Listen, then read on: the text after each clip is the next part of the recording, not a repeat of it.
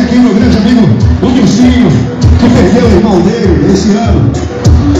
E esse aniversário também a gente não poderia esquecer, meu irmão.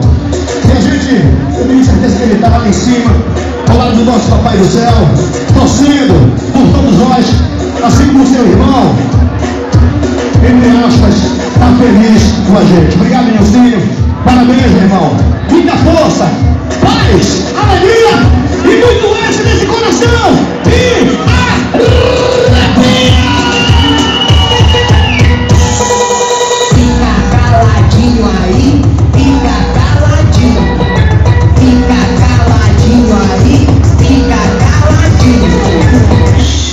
Chama é resposta.